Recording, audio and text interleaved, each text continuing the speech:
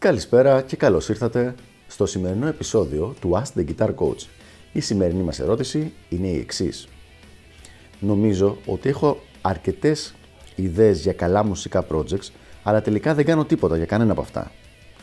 Πώς μπορώ να εκπαιδεύσω τον εαυτό μου να κάνω κάτι; Πραγματικά πολύ καλή ερώτηση. Πολύ καλή ερώτηση. Δεν έχει απόλυτα σχέση με θέματα με μουσική. Είναι πολύ πιο κοντά σε θέματα νοοτροπίας, ε, παραγωγικότητας και time management και θα ασχοληθώ με, αυτό, με αυτή την οπτική γωνία σε αυτό το βιντεάκι για να μπορέσω να βοηθήσω αυτό το φίλο που έχει αυτό το πρόβλημα. Για να αναλύσουμε λοιπόν λίγο καλύτερα την ε, ερώτηση αυτή και να ξεκαθαρίσουμε το τι σημαίνει. Λέει λοιπόν το παλικάρι ότι θέλει να κάνει πράγματα, του έρχονται ωραίες ιδέες, αλλά μετά για κάποιο λόγο ή νούμερο 1 δεν τις ξεκινάει ή νούμερο 2 ξεκινάει αλλά τις πελαγώνει και καταλήγει να μην προχωράνε καθόλου αυτές οι ιδέες σε σημείο που να είναι απλά πολλά πράγματα που να έχουν ξεκινήσει και να μην γίνεται όμως τίποτα. Τι μπορεί να λοιπόν να κάνουμε σε αυτή την περίπτωση;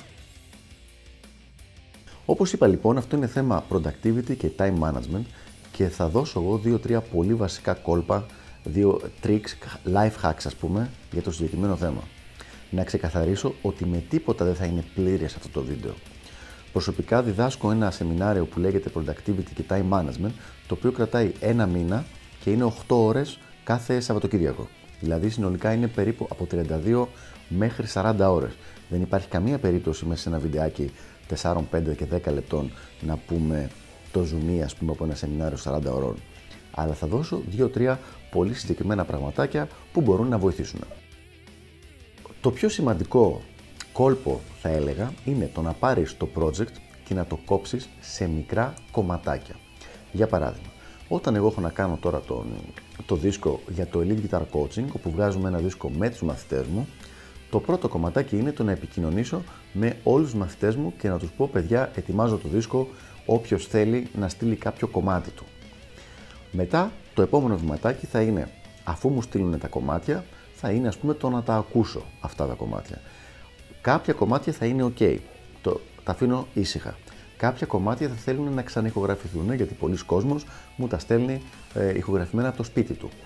Λοιπόν, να στείλω λοιπόν μήνυμα σε αυτούς τους μαθητές που χρειάζεται να πάνε σε στούντιο και να τους φέρω επαφή σε κάποιο στούντιο, με κάποιο στούντιο, ώστε να μπορέσουν να τα ηχογραφήσουν εκεί. Το κάθε ένα από αυτά τα πραγματάκια λοιπόν, από αυτά τα βήματα, είναι ένα sub-step στο project το οποίο λέγεται Elite Guitar Coaching Rising Stars CD του 2018 για παράδειγμα. Αυτά τα βήματα εγώ τα έχω γραμμένα. Δηλαδή είναι γραμμένα σε χαρτί, για την ακρίβεια σε κάποιο ψηφιακό document. Ε, αυτό, αυτό λοιπόν είναι ο πρώτο κόλπο το οποίο θα έλεγα να χρησιμοποιείς. Οποιοδήποτε project έχεις, να κάνεις ένα document στο Word ή στο Google Document με τον τίτλο και μετά να βάλεις όλα τα βηματάκια. Μέσα στα βηματάκια αυτά, αν μιλάμε για ένα CD, είναι το να βρεις γραφίστα, το να γίνει το γραφιστικό cover μπροστά, το να γίνει το γραφιστικό cover πίσω, το να βρεθεί, αν εκτυπώσεις το CD, να βρεθεί εργοστάσιο για την εκτύπωση, το να πάρεις την προσφορά από το εργοστάσιο. Όταν λοιπόν αυτό το πράγμα το έχεις σε ένα χαρτί το οποίο έχει μέσα 200 βήματα, σταματάει να είναι ένα βουνό ψηλό και αρχίζει να είναι 200 πολύ μικρά σκαλοπατάκια. Το οποίο το καθένα από αυτά μπορείς να το κάνεις ένα την ημέρα ή ένα τη βδομάδα. Για να σου πω λοιπόν εγώ συγκεκριμένα τι χρησιμοποιώ για αυτή τη διαδικασία, χρησιμοποιώ είτε τα Google Documents είτε κάποιο Mind Map.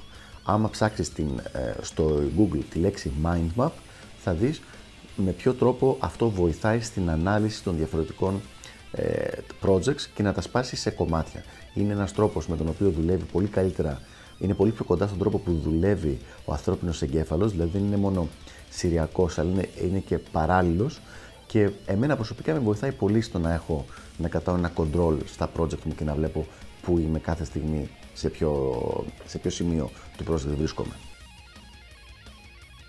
Όταν λοιπόν το έχεις σπάσει, όπως είπαμε, σε μικρά κομματάκια, το επόμενο είναι το να βάλεις ένα ε, χρόνο στον οποίο θα πρέπει να έχει συμπληρωθεί το κάθε κομματάκι. Δηλαδή, να πεις ότι κάθε τρεις μέρες θα κάνω ένα βήμα. Και αυτές τις τρεις μέρες, αντί να πελαγώνεις με το πω πω ρε φίλε έχω να κάνω το ένα το άλλο κτλ. Και, και να βλέπεις όλο το πλάνο, ασχολείσαι μόνο με αυτό το βηματάκι. Δηλαδή, μπορείς τρεις μέρες να ασχοληθείς με το να στείλεις email σε 30 διαφορετικούς γραφίστες και να τους πεις να σου στείλουν δείγματα από τη δουλειά τους για να δεις το εξώ, εξώφυλλα για το δίσκο σου. Αυτό λοιπόν μετά, έχοντας τελειώσει το τριήμερο, θα έχεις διαλέξει δύο-τρεις γραφίστες που θα σου αρέσει η δουλειά τους, θα τους στείλεις την προσφορά σου ή θα σου στείλουν τη δική τους και έχει ξεμπερδέψει με αυτό το βήμα. Και μετά προχωράς στο επόμενο, για το επόμενο τριήμερο, ας πούμε. Με αυτόν τον τρόπο σταματάει το όλο θέμα, όπως είπα και πριν, να είναι ένα μεγάλο project και ξαφνικά γίνεται πολλές δεκάδες, μερικές φορές και εκατοντάδες για να λέμε την αλήθεια, μικρά tasks.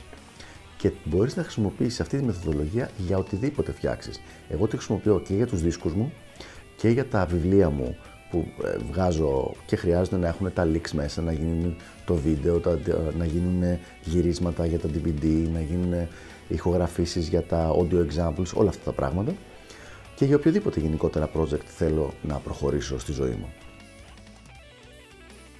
Όσο αφορά λοιπόν το θέμα της παραγωγικότητας, πριν κλείσουμε θα δώσω ένα τελευταίο tip, το οποίο έχω δει ότι είναι πάρα πολύ εύκολο να το κάνεις, αλλά έχει αλλάξει και έχει βοηθήσει τη συντηρητική πλειοψηφία, μιλάμε πάνω από 90-95% του κόσμου που το έχει βάλει σε λειτουργία.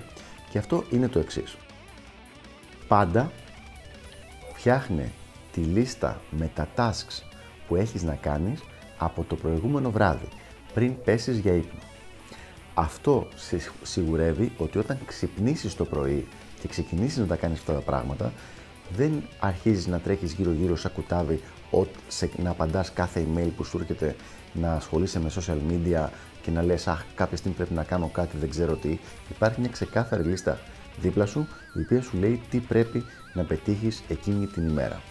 Και αυτή τη λίστα καλό να την κάνεις update κάθε βράδυ, ώστε να ξέρεις τι να κάνεις την επόμενη μέρα.